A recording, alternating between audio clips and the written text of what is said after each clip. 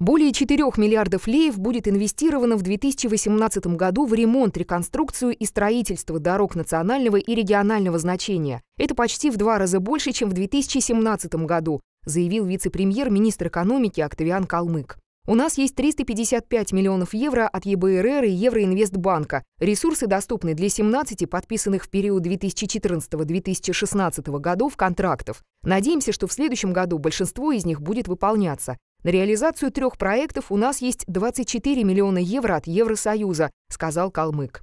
В 2018 году планируется провести капитальный ремонт примерно 100 километров дорог и ремонт 350 километров трасс национального значения. Также власти планируют отремонтировать 10 мостов, сдать в эксплуатацию участок трассы Унгень-Кишинев, участки дорог Хенчерсть-Лепушна, Камрад-Чумай и около 80% шоссе Белть-Скулень.